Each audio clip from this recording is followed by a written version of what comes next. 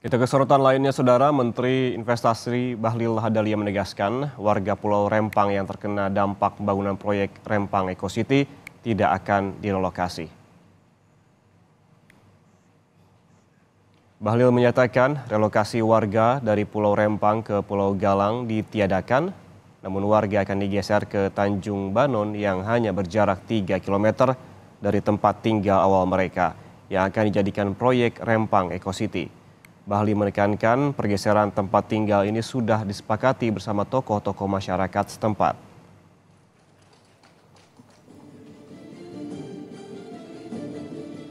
Relokasi ke Galang kita tiadakan. Artinya kita menyetujui aspirasi dari masyarakat.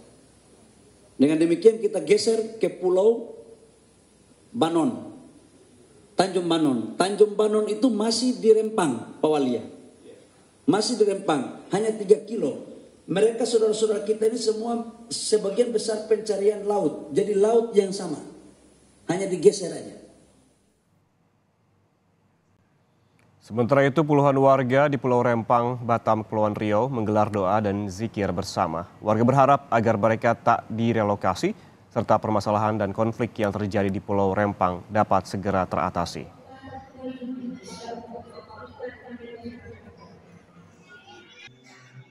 Berharap pada pemerintah tolonglah kami digusur dari kampung kami. Kami tidak mau pindah walaupun apa yang terjadi.